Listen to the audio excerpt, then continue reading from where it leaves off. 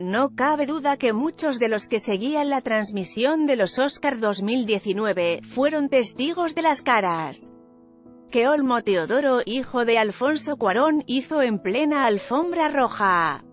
Sin embargo, estos gestos, que para varios fue motivo de burla y buen pretexto para crear memes, tienen una explicación, y es que luego de que se le criticó al joven de 13 años, cabe recordar que su padre, director de Roma, dio a conocer en 2008, en entrevista para Notimex, que Olmo padece autismo, razón por la que actuó de esa manera en los premios. Conoce a los artistas que se llevaron el premio a peor vestido de los Oscar incluso Cuarón reveló que por un año tuvo que alejarse de los escenarios para cuidar a su hijo que en ese entonces tenía cuatro años. México es un país en el que miles de niños padecen esta condición y no tienen sistemas de apoyo ni la confianza de los padres. Yo tengo un niño con esa condición y puedo decir que afortunadamente tengo los medios económicos y el acceso a especialistas y por lo mismo he dejado de trabajar, suspendí todos mis proyectos para dedicarme a mi hijo. Paréntesis que abre punto punto punto paréntesis que cierra.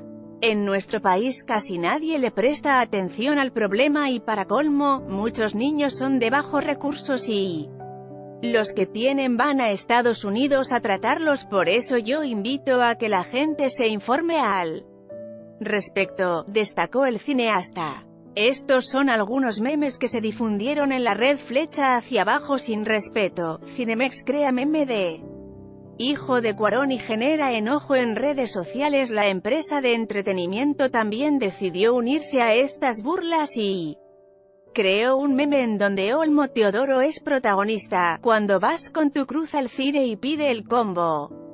Nachos con extra queso, uno y dog y la quincena es el jueves. Ante esta imagen, algunos usuarios en redes comenzaron a hacer comentarios negativos a Cinemex por lo que al cabo de unos minutos, la empresa lo borró, pero ya era demasiado tarde, alguien ya había hecho la captura de pantalla y esta penosa situación se viralizó. Autismo, un trastorno, fuera de este mundo, el autismo es un trastorno neurológico que afecta a las funciones del cerebro, padecimiento que se da, a nivel mundial, en uno de cada 160 niños. De acuerdo con la Organización Mundial de la Salud OMS, hay personas que pueden ser muy inteligentes y otras que no. Si bien no es sencillo diagnosticar este padecimiento algunas de las características son flexibilidad del pensamiento y de su manera de actuar. Los niños entre 12 y 18 meses, que es la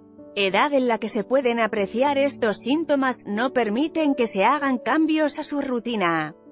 Tras el paso de los años, el autismo puede generar reacciones de hipertensión o hiposensibilidad a través de estímulos sensoriales ya sea